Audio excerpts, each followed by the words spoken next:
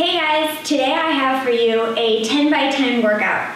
It's 10 reps and you're gonna go through it 10 times through and there's just five moves. It's tons of cardio, gonna get your heart rate up and really get you towards your new 2018 goals. So here we go. First one, squat with an overhead press, 10 times. Remember, sit it back like you're in a chair and really power through. You're halfway. There's seven. Get low.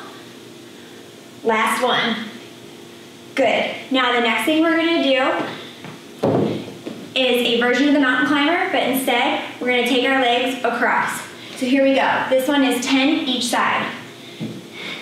Knee to elbow. There's one.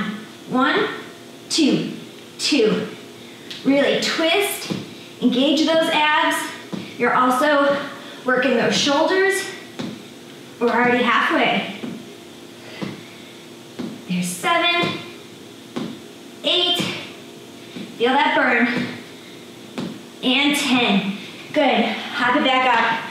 Next ones, they're awful, but they work so good. Burpees with the jump, let's go. Get up there. You are working total body with this move. You got the legs, core, shoulders. You're already halfway. How high can you get?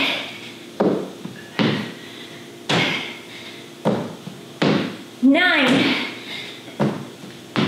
ten. Great job. Next thing, back down to the floor, plank jacks. We work those inner and outer thighs.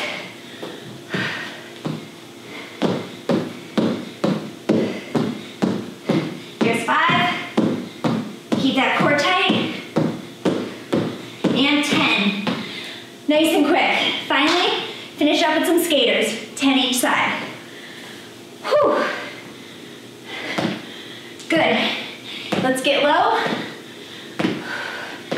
Really work that glute. We're burning calories and toning. There's seven. There you go, that's one round. You got nine more to go.